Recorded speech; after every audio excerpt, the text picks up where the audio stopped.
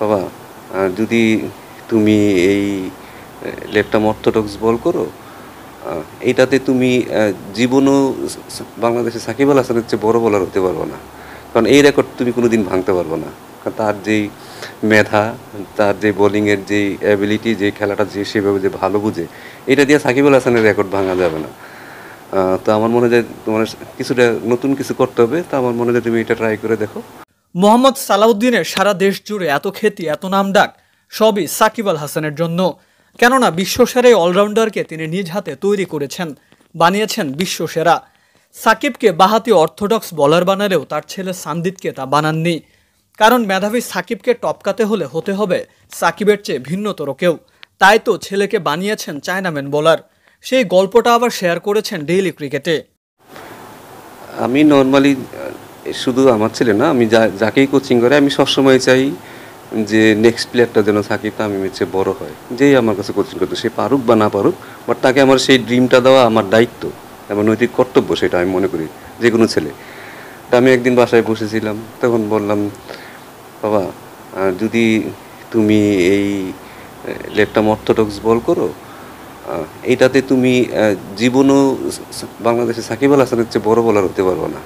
কারণ এই রেকর্ড তুমি কোনো দিন ভাঙতে পারব না। কারণ তার যেই মেধা তার যে বোলিংয়ের যে অ্যাবিলিটি যে খেলাটা যে সেভাবে যে ভালো বুঝে এটা দিয়ে সাকিব আল হাসানের রেকর্ড ভাঙা যাবে না। তো আমার মনে হয় তোমার কিছুটা নতুন কিছু করতে হবে তো আমার মনে হয় তুমি এটা ট্রাই করে দেখো। যখন একেবারে ছোট ছিল আর কি মানে শুরু করেনি হয়তো দুই তিন বছর আগে। তখন সে আসলে নিজে থেকে চেঞ্জ করছে এবং আমি দেখলাম যে না সে আগে অর্থোডক্স করতো। বাট যেহেতু আমি মনে করি যে যেহেতু তাকে যদি কিছু আলাদা কিছু করতে হয় তাকে আলাদা কিছু ইয়ে হইতে হবে। তো এই কারণেই আসলে হঠাৎ করে এটা আমরা ডিসাইড করছি যে চায়নাম্যান শুরু করো। বুধবার দেশের সবগুলো অনলাইন গণমাধ্যমে চোখ রাখলে দেখা যায় যে একজন চায়নাম্যান বোলারকে নিয়ে যেন হুলস্থুল কাণ্ড। ছেলেকে এইভাবে দেখতে পারাটা একজন বাবার কাছে ঠিক কতটা আনন্দের সেটাই জানুন এবার। আমার ছেলে ক্রিকেট খেলতেছে সেটাই আমার কাছে সবচেয়ে আনন্দ লাগে। সে পারে কি না পারে সেটা কিন্তু আমি খুব একটা আপাতত দেখছি না। বাট সে ক্রিকেট খেলতেছে সে এটা এনজয় করে এবং সে তার, এটার প্রতি তার পেশেন্স আছে পেশেন্স আছে। তো আমি মনে করি যে যেহেতু সে ভালো লাইনই আছে তো এ মানে ফাদার হিসেবে আমার কাছে খুবই ভালো লাগে এবং সে যখন ক্রিকেট বলটা হাতে নেয়, আমার কাছে খুব মজা লাগে যে তাকে আমি এত পিচ্ছি দেখছি, কিছুদিন আগেও সে এখন বল করতেছে বা ব্যাটিং করতেছে। তো এটা আমি এই কারণে আমি সবসময় আমার ভিডিওগুলো আমি সবসময় দেখি, যেমন ভালো লাগে। যেটা এইটাই একটা বড় আনন্দ, সে কোথায় খেলতেছে, না খেলতেছে সেটা নিয়ে আমি আসলে খুব একটা ওরিড না এই মোমেন্টে বাট সে এনজয় করতেছে, তার লাইফটা সে হয়তো সে নিজেই ডিসাইড করবে সে কোন দিকে যাবে। বাট তার যেটা ভালো লাগার জিনিস, সে যেটা সেটা করতে পারতেছে, সে এজ এ ফাদার সেটাই আমার জন্য সবচেয়ে বেশি স্যাটিসফাই প্রতিভাবান চায়নাম্যান বোলার সান্দিদকে এতদিন লোকচক্ষুর আড়ালে রেখেছিলেন দেশসেরা কোচ মোহাম্মদ সালাউদ্দিন। আরেক দেশসেরা spin bowling coach Suhel Islam এটা যেন মানতেই পারছিলেন না। তাই তো সালাউদ্দিনকে বলেই দিলেন, ভাই, আর কতদিন ছেলেকে এইভাবে লুকিয়ে রাখবেন? এবার না হয় প্রকাশ্যে আনুন। কোচ সোহেলের কথা মতোই ছেলেকে আবার সালাউদ্দিন ছেড়ে দিলেন সবার মাঝে। এবার নিজেকে প্রমাণ করে সবার মন জয় করে নিক। সেই সাথে একজন চায়নাম্যানের অভাবটা সান্দিদ পূরণ করুক। না, সোহেল শুধু আমার একটা কথা বলছে যে, ভাই, ওরে অনেকদিন লুকায় রাখছেন আর লুকায় রাখেন না। এখন আপনি মানে সামনে নিয়ে আসেন। তো কথা তো আমি ফেলতে পারব না। বাট হি নোজ বিকজ সে বাংলাদেশের বেস্ট স্পিন বোলিং কোচ তো আমার মনে হয় সেই ভালো, আমার থেকে ভালো বুঝবে যে আসলে স্পিনটা কীভাবে কথা সব কিছুই সে আমার চেয়ে ভালো বুঝবে।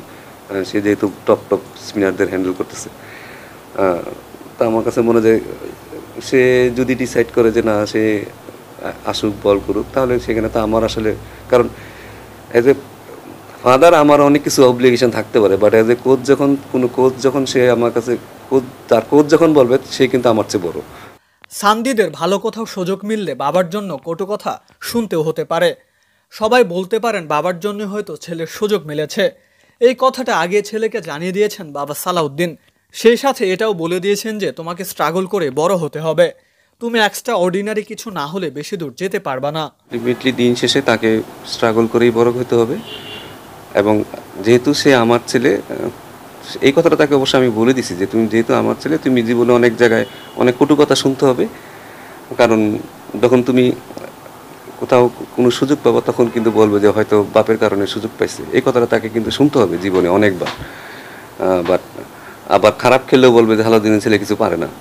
সো তোমাকে দুই দিকেই কিন্তু তার, এটা কিন্তু তার রেডি থাকতে হবে। যে সব দিকেই তাকে কিন্তু এই জিনিসটা তাকে ফেস করতেই হবে। এবং তুমি যদি খুব এক্সট্রাঅর্ডিনারি না হও, তাহলে কিন্তু আমার মনে হয় না তুমি খুব বেশি দূর যেতে পারো কারণ তুমি যদি হয় ভালো করো, তোমাকে অনেক ভালো করতে হবে। কারণ মানুষ, কথা মানুষ বলবে এবং অনেক সময় বলবে, বলে যাও সুযোগ পায়। অলরেডি হয়তো দেখবা কেউ জন বলেও ফেলতে পারে যে না সালাউদ্দিনের ছেলে বলে হয়তো নেটে গেছে।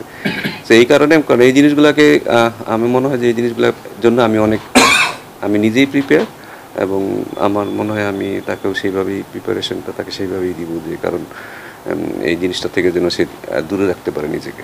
তবে সবচেয়ে মজার ব্যাপার হচ্ছে নিজের দেশসেরা কোচ হলেও ছেলেকে কোচিং করতে পাঠান অন্য কোচদের কাছে। এই কারণটা না হয় বাবার মুখ থেকেই শুনুন।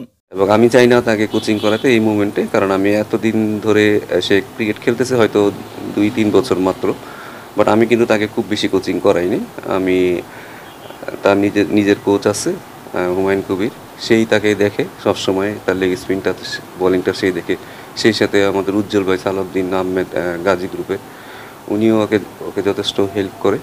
ওনাদের কাছে আমি ছেড়ে দিছি কারণ এই জিনিসটা আমি শিখতে পারছি। কারণ হচ্ছে অনেক ছেলে ছোটবেলা দেখা যায় যে সে যদি এক- মানে কোনো কমফোর্টেবল কোচের কাছে কোচিং করে, তখন দেখা যায় সে তাকে অন্য কোচ দেশে আর গ্রহণ করতে পারে না। সো আমার ছেলে যদি আমার টেস্ট একবার পেয়ে যায়, আমার মনে হয় সে অন্য কোচদের কাছে সে কোচিং করতে পারবে না। সো এই কারণে আমি তাকে কখনো ওইভাবে দেখি না। কারণ তখন তার কাছে মনে হবে যে আমি আমি সালাউদ্দিনের কোচিং পাইছি, তারপরে হয়তো তার হয়তো অনেক কিছু তার ভিতরে আসতে হবে। অন্য কোচদের তার হয়- কথাটাতে সে গ্রহণ করতে চাইবে না। কারণ মনে হবে আমি তার থেকে হয়তো অনেক বেশি জানি। এরকম অনেক ছেলে বেলায় ঘটছে এরকম। তো আমি চাই না, আমি এখনও তাকে ধরতে, যখন সময় আসবে আরও বড় হোক। যখন দরকার হবে তখন আমি মনে হয় যে তখন আমি কোচিং করব। বাট এই মুমেন্টে তার যারা কোচ আছে তার তার সে যেন সবার সাথে কমফোর্টেবল থাকে। ইভেন ক্লাব লেভেলে যখন সে খেলবে তখন অনেক মানে হ্যাঁ খেলছে। মানে অন্য যদি যে কোনো ক্লাবেই খেলে তার মনের অনেক প্লেয়ার আছে তার মনের মতো হয়তো কোচ হয় না তখন ওই সিজনটা তার খুব খারাপ যায়। সান্দিত বাবার পরিচয় নয় সবার মাঝে পরিচিত হোক নিজের পরিচয়ে। চায়নাম্যান বোলিং আর নিজের বিধ্বংসী ব্যাটিং দিয়ে বাবার আবিষ্কার সাকিব আল হাসানকেও ছাড়িয়ে যাক। সেটাই তো প্রত্যাশা ক্রিকেট প্রেমীদের। Mokaddes Hossain daily cricket